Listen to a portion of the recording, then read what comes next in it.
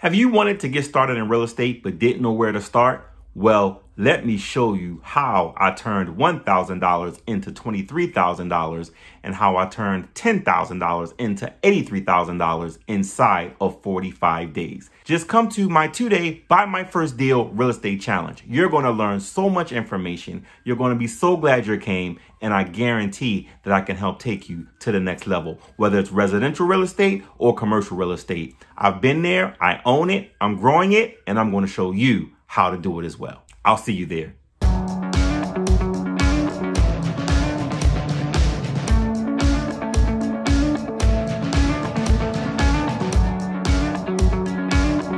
So I just got finished walking this property, beautiful property, uh, 83 units, uh, put in an offer for just over 18 million. They came back with a counter. So we'll take a look in and see what we're going to do with the counter offer.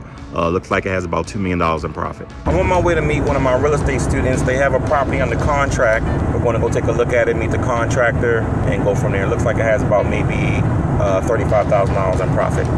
So we'll see what happens. So I'm here at one of our properties and uh, hey, so I'm here with Sam. Sam is one of my real estate students. Just completed his first deal. Uh, Sam, how you feeling? Feeling great.